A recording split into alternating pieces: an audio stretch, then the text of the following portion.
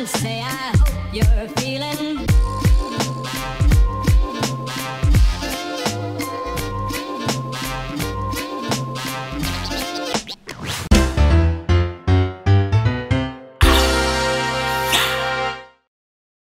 Hey，我芊芊呐，爱记起赞、个起订阅、洗刷介绍和你所有的朋友哦。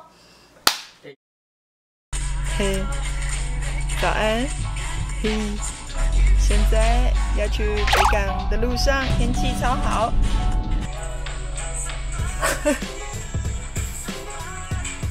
哇，到北港了，前面这里就是朝天宫。大家好，我是美食水芊芊。现在呢，来到有很多地方特色小吃的北港，因为呢，我相信大家应该也很久没有出游了吧。乌力时钟呢，也跟大家说疫情趋缓，所以呢，大家可以适度的出游，放松一下心情，所以我就出来了。今天究竟会吃哪一些东西呢？那我们一起看下去吧。走。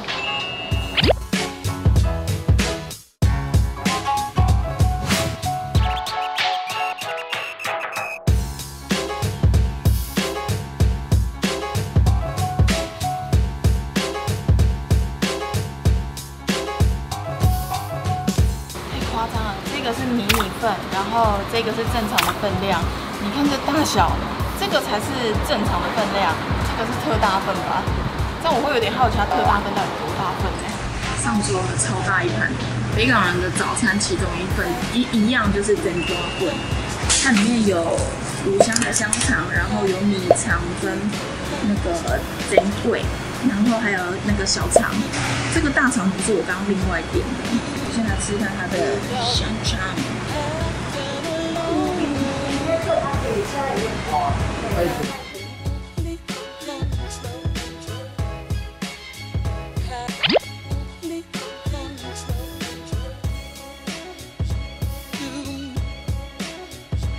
五香的香肠啊，它颜色是比较深的这一种，然后吃起来其实咸度没有到很咸，重点是它是肥肉比较多的香肠。再来的话，它的那个香肠跟米肠它是自己灌的，所以它其实外面的皮咬起来其实是非常好咬的，因为它正常的蒸包会里面是不小肠，然后我刚刚加点了一份大肠头，而且它大肠头才立口哎，但是小肠吃起来其实非常的软 Q，然后不会很多。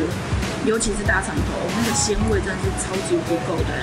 我就来一定要点它大肠头，它大肠头很滑呢。再来的话，它就是它的那个整桂，它的整桂是外面恰恰，里面是软嫩的那一种，它有点介于我们常吃的萝卜糕，但比萝卜糕还要再软一点点的那一种。应该说它里面这些料，它其实咸度都没有到很咸，就再配上米酱，有一点点甜的感觉，就有点干冰干冰，然后可以再配上他们的辣酱。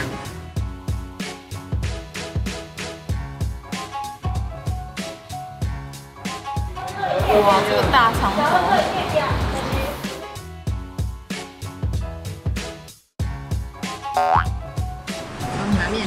几个花桂，然后再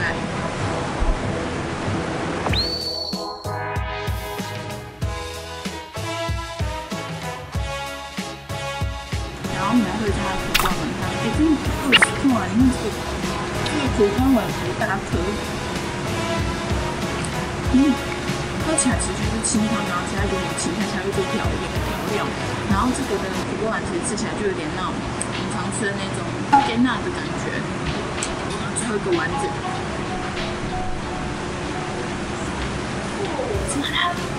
离开了珍波柜之后，前往下一间。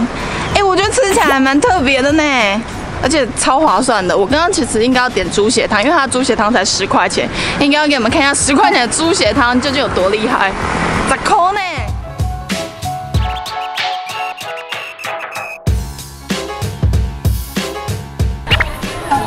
好恰洋洋，西洋够细洋，千千谚语小消息。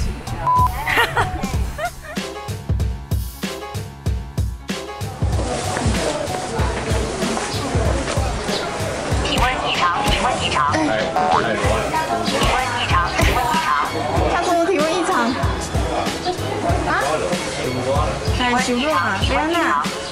体温异常，体温异常。啊，对不起啊。那，要来去吃面线糊，今天要吃老等。北港其实有三间面线糊很有名，是公园旁，然后老等跟阿峰。可是我朋友比较推荐我老等，所以我现在要来去吃它。不见中秋有红灯。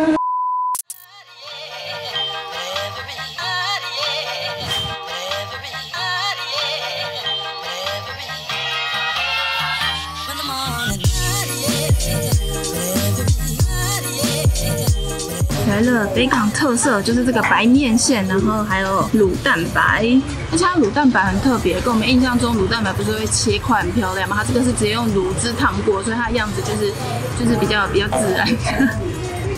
我来吃看它的那个米刷狗，它看起来是白面线，然后再加上卤汁。我有点它的加蛋，它的加蛋里面通常都是只有加蛋黄而已，所以它会有卤蛋白这道菜。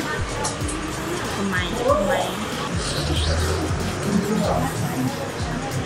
嗯，这个拿蒜的蛋黄，蛋白。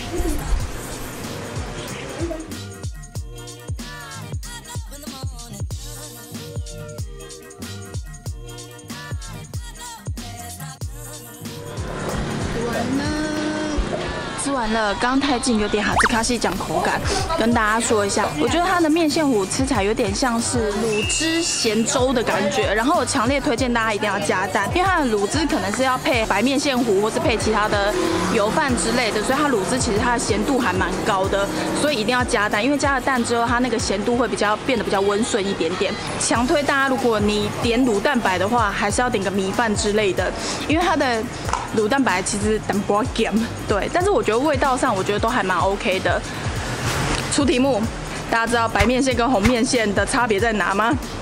三二一，其实它前面的那个处理的方式都一样，可是它吹滚之后呢，就会变红面线，就产生它的梅纳反应，其实没有没有什么差别，就只是差在有吹滚跟没有吹滚。呵，接下来我们要前往下一家了，Go。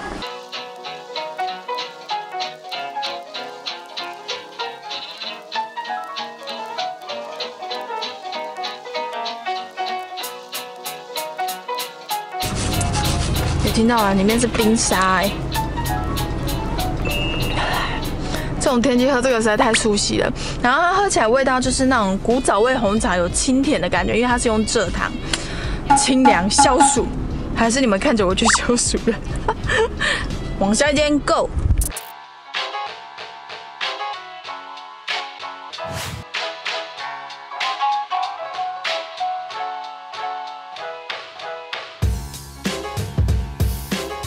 接下来这一间呢叫阿安鸭肉羹，它除了卖鸭肉羹之外，它还有卖这个是鸭骨面线，就等于是说鸭肉拿来做鸭肉羹，可是骨头呢还拿来做面线，就是熬面线，所以就等于是有种把鸭子用到物尽其用。我来喝喝看，吃这个时候要小心哦，因为它小碎骨其实还蛮多的。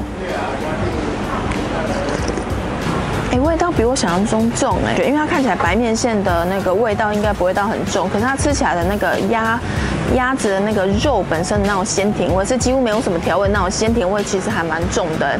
这样子单吃你没有加任何的醋或者是酱油之类的，你就会觉得它味道还蛮重的，而且是那种鲜甜的感觉。不过就是吃的时候要小心，因为它的小碎骨很多，如果你在吃的过程中其实蛮容易烤到牙齿的，或是长辈在吃的时候要小心。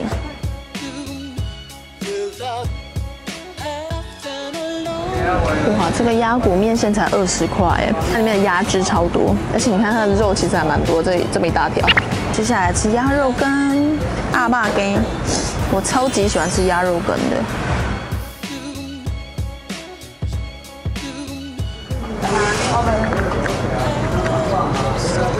哦，很甜哎。它鸭肉羹啊，吃起来除了那个鸭肉本身的那个味道之外，因为它还有放笋子，所以它的笋香味其实也蛮重的。然后吃起来会带有一点点酸酸的感觉，还蛮刷嘴的。跟我很常吃的嘉义的文化生炒鸭肉羹比起来，味道再稍微淡一点点，比较没有那么咸，我觉得还不错呢。这种鸭肉羹啊，因为通常都是那种那种大锅煮嘛，所以它会有一有一点点那种锅气的那种味道在里面，所以在吃的时候还有那种锅气的香气。再加一点辣粉，我吃鸭肉羹最喜欢加辣粉。吃鸭肉跟加辣粉不是为了真的让它辣，是为了让它提鲜。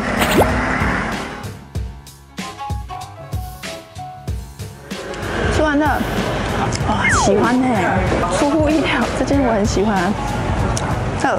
究竟我今天为什么要特别下来北港呢？因为上一次我朋友跟我说，北港有一个非常特别的噔噔噔，大家可以猜一下是哪三个字？哎，四个字，四个字。五个字。哎，在那，在那，到了，到了。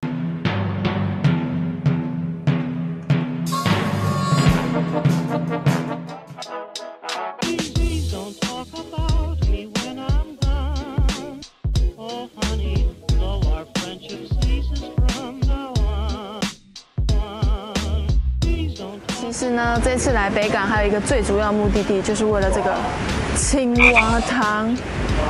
看起来是不是非常的厉害？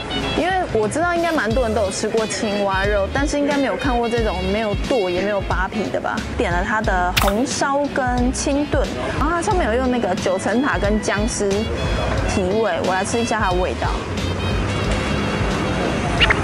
单喝汤喝起来有点像鱼汤哎，就它的姜丝跟九层塔还有那个蒜味其实还蛮重蛮香，很好喝哎，我吃了。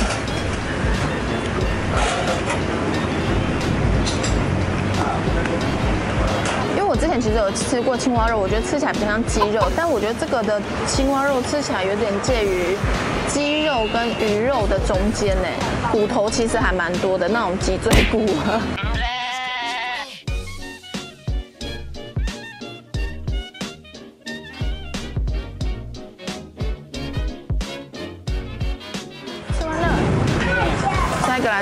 红烧的，红烧的就很明显不一样，因为它长得就是因为有炸过，所以它外形就比较没有那么青哦。对不起，我误会它，它外形也是蛮青蛙的。我们现在喝一下汤头。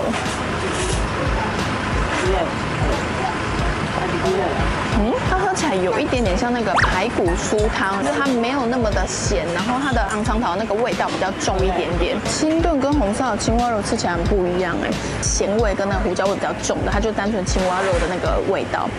认真来说的话，我比较喜欢清炖的汤头，可是我比较喜欢红烧的青蛙。青蛙的台语大家知道怎么说吗？细吉卡，细卡。吃完了，很特别，跟大家说一下，因为北港是二伯的故乡，然后之前我看到二伯的弟弟有开了一间脚铺在青蛙汤旁边。德西迪家，你有看到吗？明月离合，哎，好这样。本人有没有比较漂亮？